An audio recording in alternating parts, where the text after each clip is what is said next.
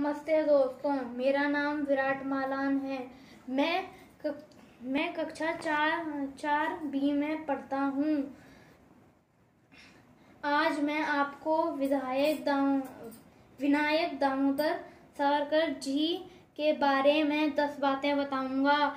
वीर सावरकर जी का जन्म 28 मई 1883 को हुआ था। सावरकर जी एक प्रसिद्ध आंदोलनकारी थे।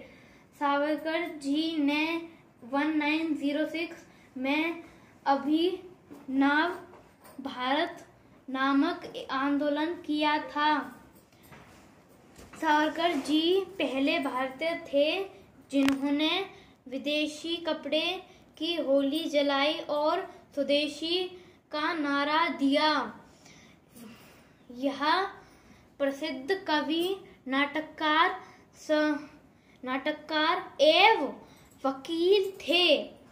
सावरकर जी ने पूर्ण स्वतंत्रता की मांग की।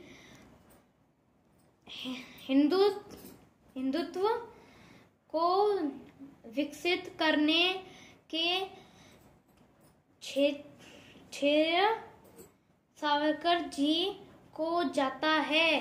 तारकर जी की मृत्यु 26 फरवरी 1966 को हुई। जय हिंद। जय भारत।